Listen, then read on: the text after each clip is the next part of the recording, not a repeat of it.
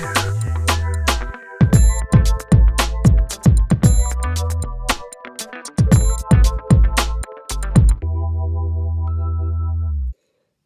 and welcome back to my channel. My name is Jenny Allen and before we get started with today's video, please make sure that you are subscribed, that you check the description box below and you thumbs up this video.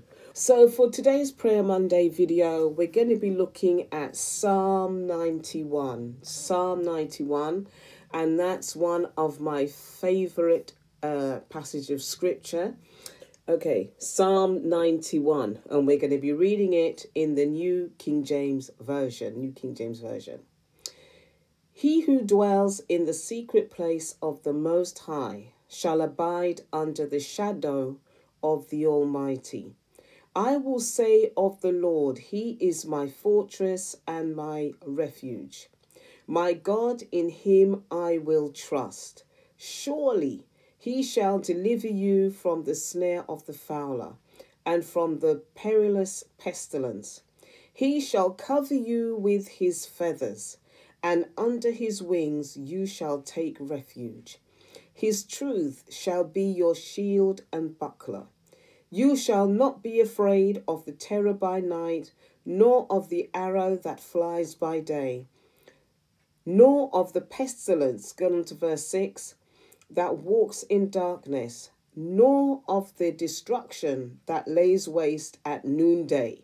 Verse 7 A thousand may fall at your side, and ten thousand at your right hand, but it shall not come near you. Let's go to verse 9. Because you have made the Lord, who is my refuge, even the Most High, your dwelling place. Verse 10 No evil shall befall you, nor shall any plague come near your dwelling. Verse 11 For he shall give his angels charge over you to keep you in all your ways. To keep you in all your ways. You know, in God, there is safety, there is protection, there is security, there's warmth, there's loyalty. You are guarded, you are provided for. In God is a worry free zone. There is a secret place. You're shielded, you're defended. It is a place of delight. This is the place in God that we must find ourselves in today.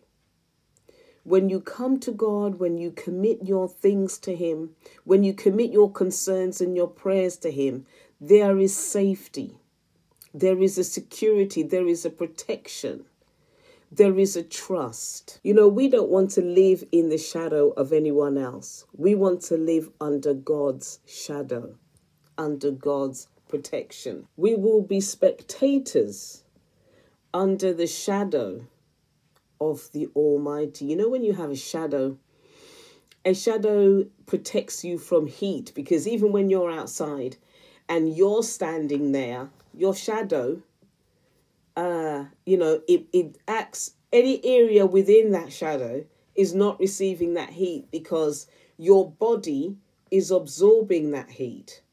And then the shadow you know it's it's not receiving any direct heat because you're there blocking it. And that's the same thing with god you know there are so many things that we experience on a daily basis and we can cry out to god about it but if we really and truly knew and understand the amount of things that god is blocking us from you know, it would shock our understanding. God stands as a barrier, as a defense between whatever the enemy is doing and between us. He stands as a barrier and we are protected under his shadow. We are protected because we are barricaded. Because don't forget, there's a scripture that says, Our lives are hidden with Christ in God. With Christ, we are protected in God. And if we make that as a daily declaration, we will be protected. Let's pray. Father, I thank you once again today for everyone who will watch this video. I pray, Father God, that whatever, Lord, the viewers are going through in their personal lives, I pray, Lord, that you will be a defense, that you will be a protection, that you will be a wall, that you will be a barrier to them. I commit their minds to you. I commit their personal situations to you. I even commit, Lord, the secret desires of their hearts to you, Lord. Some are being, Father, some of them are going are under much stress because of what they are experiencing, Lord. But I pray that you will be a defense to them this morning or today or whenever they're watching this video. I pray, Lord, that you will declare them and be their banner today, be their protection. The word says, Lord, that when the enemy comes in like a flood, the Spirit of the Lord will lift up a standard against him. And I pray, Father God, that you will lift up a standard against the works of the enemy in the lives of your people today. I pray, Father God, and I commit their daily walk into your hands today. And I pray, God, that as they go to their work, as they have their family issues, as they have different things that's going on, I pray, Lord, that you will be a defense and that you will cover them in the secret place.